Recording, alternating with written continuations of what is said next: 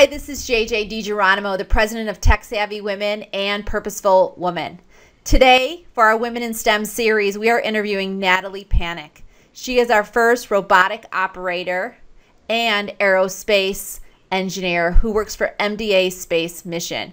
Natalie has a very colorful background. She has really pushed the limits in a lot of areas that many women would probably be fearful of. Uh, she's driven the first power card across North America. She has a pilot's license and she skydived with the first Korean astronaut. Natalie, welcome to Women in STEM. Thank you so much for having me. We are so excited. Your background is so wonderful. I can't even wait to dive in. So, you know, let's go back a little bit. How did you even get into robotics and aerospace? It's kind of just been a lucky run of being involved in projects that innovate for extreme environments. I've always had this dream of traveling to space and wanting to be an astronaut. So I went and got a mechanical engineering degree. I figured that would be a good place to start and would give me lots of options to go from there. So then I got an aerospace engineering degree. I did my master's studying combustion and microgravity. I lucked out with a couple of internships at NASA and then ended up getting a job at MDA Space Missions, which is the company that built the Canadarms. So they have a, a niche in robotic operations and building robotic manipulators. Wow. So, you know, as a young girl, did you have somebody motivating you in this area? Because many girls, that's not top of mind for them. I don't know if I specifically had anyone motivating me to go into a STEM field, but my parents always pushed me to do what I love, do what I'm passionate about, and to really challenge my limits and always want to be involved in something where I'm learning a lot. That is great. And are either one of them in the STEM field? Actually, no. Well, my dad, he, he, he runs a company and his background is in environmental science, and same with my brother, but no one in engineering or technology fields. That is great. And so, when you got into school, uh, when you started attending school, were you one of the only women in the classes you attended? When you do your engineering degree, everybody kind of goes into a general field in your first year, so there's definitely more girls. But then, because I went into mechanical, that discipline te- usually has less women in it. So I was about 10 out of 140 women. So the ratio is quite small. But other engineering disciplines like chemical or civil or uh, even geomatics engineering usually have about a 50 50 ratio. And what school did you attend? I did my bachelor's at the University of Calgary in Alberta, Canada, and then my master's at the University of Toronto in Canada as well.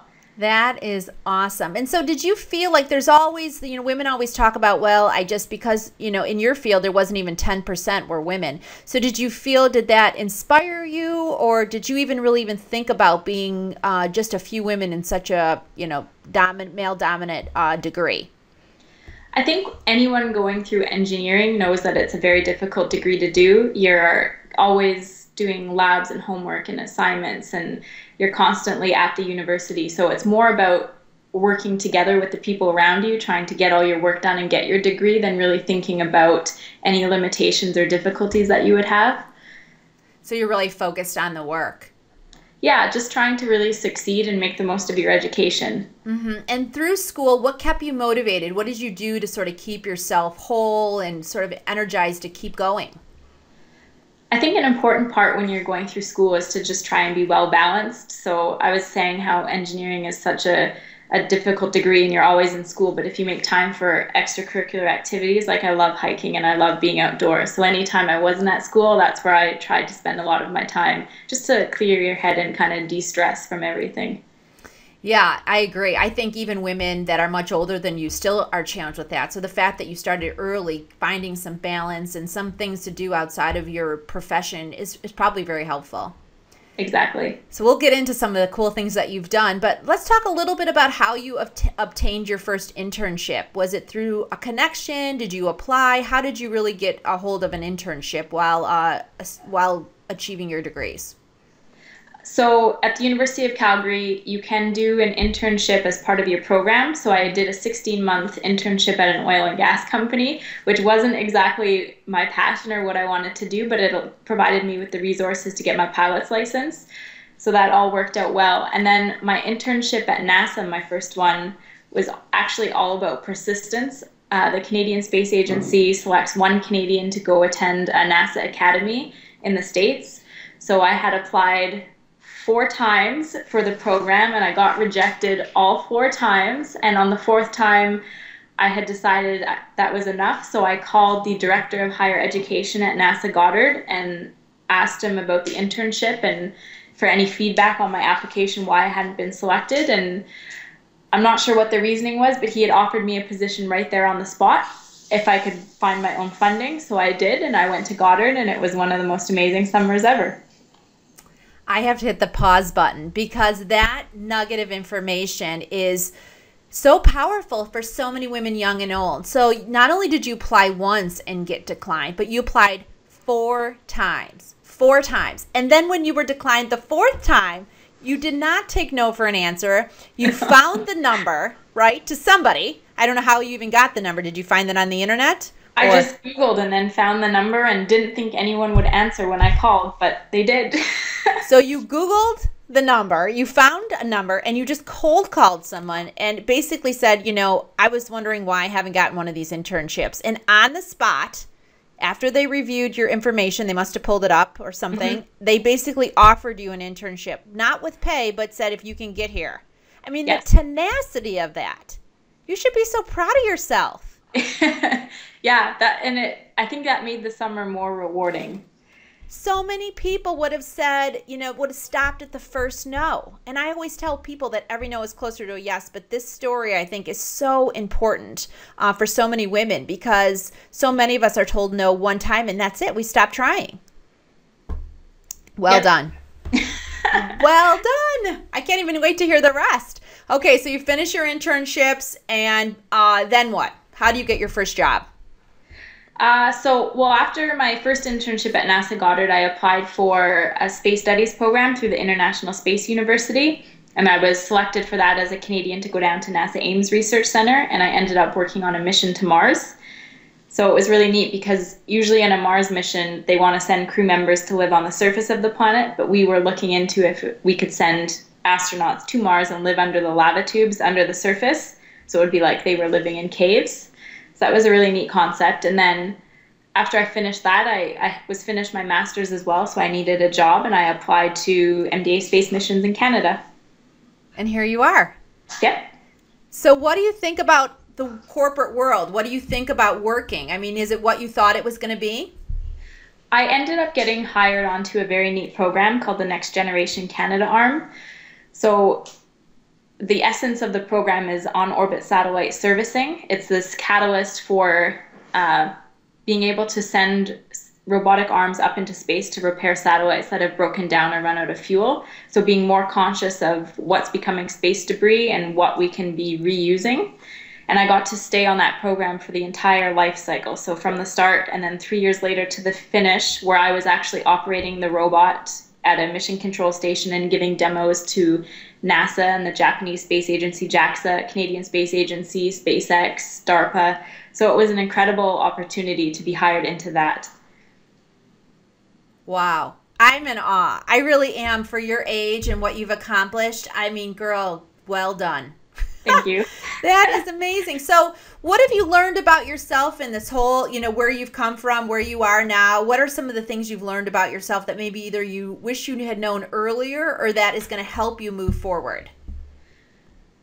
I always, when I'm doing talks, relate to one of my favorite books, which is called Failure is Not an Option by Gene Kranz, who's who was a NASA flight director during the Apollo era, and he has this list called the Foundations of Mission Control, which he came up to make sure that his team of engineers and scientists got those men safely to the moon and back. And they were foundations of teamwork, toughness, competence, responsibility, and confidence.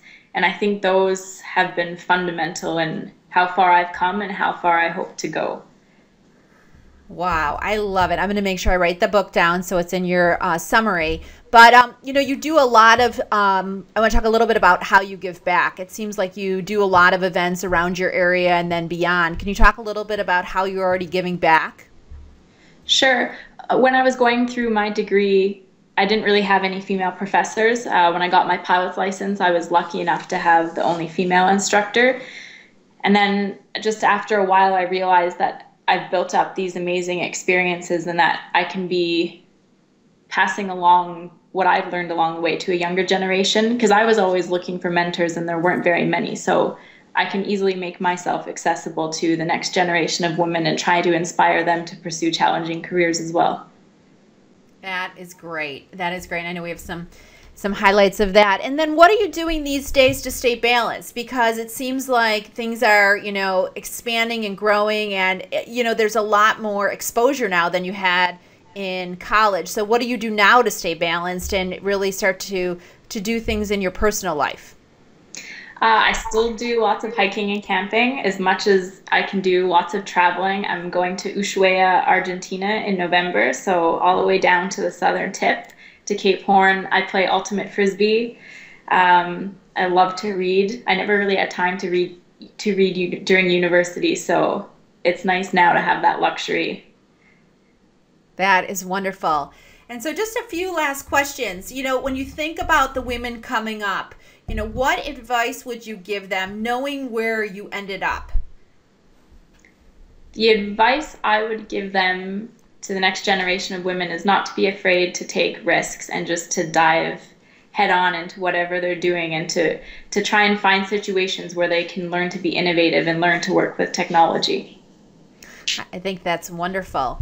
And you know what's on the horizon for you? You've already accomplished so much, and you're not even 30 yet. So, I mean, the sky's the limit. But what is on the agenda for you, Natalie?